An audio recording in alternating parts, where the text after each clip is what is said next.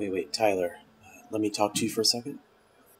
If there is anything you ever need or any problems you might be having here at home, I want you to know that you can contact me anytime.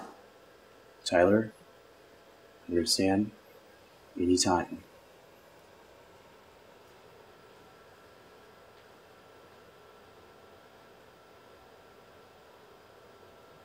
Where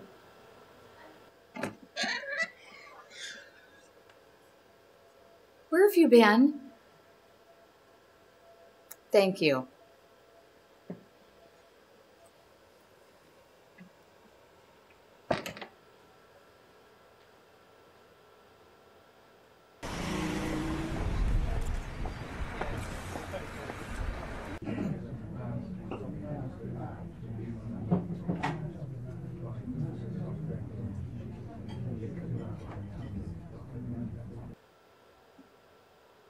Yeah, Reid?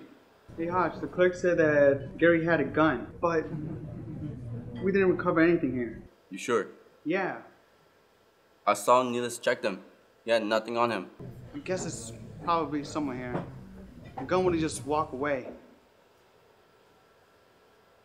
Hotch? Yeah, Hotch? I just dropped him off. I'm leaving. His backpack? No, why would I need.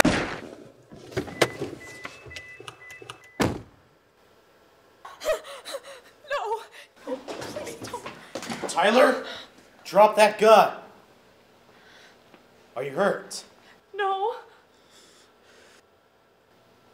Tyler, come on, kid.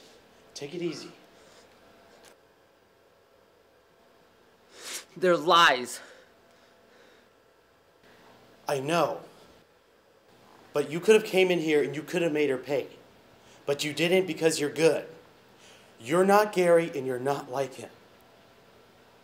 Look at me. I don't want to hurt you. Let's make a deal. You give me that gun, and I promise you that I will walk you out of here, and you will not have to come back here again. Sounds good?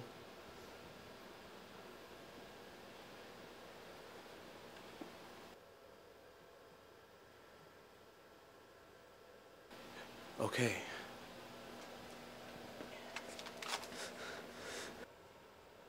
I got you.